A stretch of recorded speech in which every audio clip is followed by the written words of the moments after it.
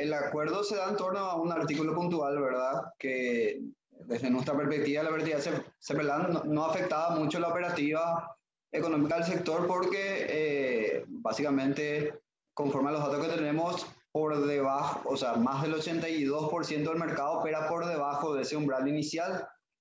No obstante, ante la preocupación del sector y ante otros factores que también afectaron bastante a las casas de cambio, como el cierre de fronteras, la situación de la pandemia, también una realidad que tiene que ver con los campistas de calle, se mantuvo la mesa de diálogo y lo que se hizo fue hacer un ajuste de manera que ellos se sientan más cómodos porque eh, básicamente la modificación ahora eh, sustituye el concepto de operación única por, una operación, por un control sucesivo en 12 meses, ¿verdad? Entonces, ellos van a ir registrando, incorporando bajo un régimen simplificado todas las operaciones que van haciendo los clientes por 12 meses, ya llegar a un cierto umbral que al ser en, 12 meses divididos mayor, es lógico eso, hace que, el, que, que, que, ocurra lo que entendemos que va a pasar, que van a, eh, ese porcentaje que que, está por encima de ese umbral del 83% va a terminar ingresando al régimen general de vía diligencia. Entonces, en ambas partes creo que estamos contentos eh, porque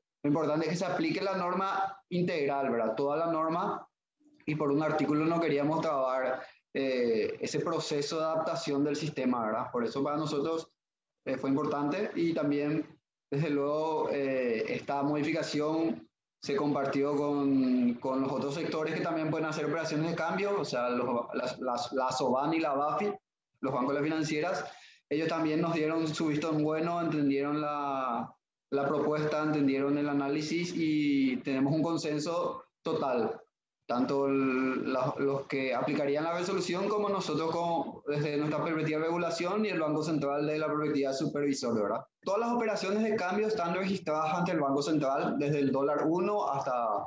Entonces se analizó un promedio de eh, seis meses de más de 600 mil operaciones, lo que nos dio el parámetro que les comenté que más o menos el 83% del mercado de las operaciones se hacen por debajo de los mil dólares. Esto es una tendencia con reglamento CPLA o sin reglamento CPLA, ¿verdad? Eso es algo que creemos que no va a cambiar porque va a seguir operando de esa manera un sector minorista por excelencia, ¿verdad? Entonces, el proceso se da en el cambio sucesivo. Eh, el, parámetro de mil inicial nace de ese análisis de que más de 460 mil operaciones en seis meses se dieron por abajo, entonces era razonable poner ese punto medio y eliminando ese, ese punto de mil, de mil, de básicamente mil dólares de salario, eh, no va a cambiar la realidad, va a seguir siendo minorista o el otro extremo que tiene el dato que es gente que opera por encima de los 15 mil dólares.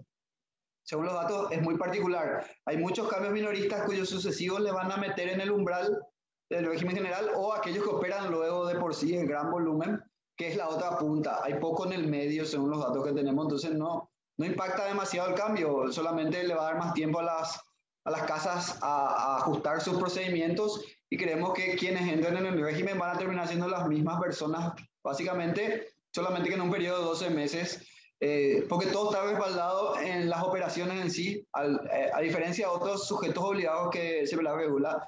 En este caso puntual, nosotros tenemos la ventaja de que todo se registra, entonces sabemos cuánto opera, en qué zonas geográficas, con qué periodicidad. Eh, promedios, eh, que si los clientes son residentes, no residentes. hay muchos factores que te permiten tomar decisiones eh, con variables, ¿verdad?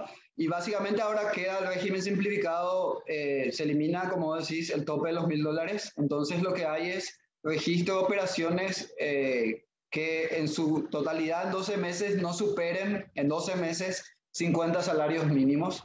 Eso quiere decir que en un año uno puede cambiar hasta un poquito más de 15 mil dólares en un año. Si uno de una hace esa operación superior, desde luego ya pasa el régimen.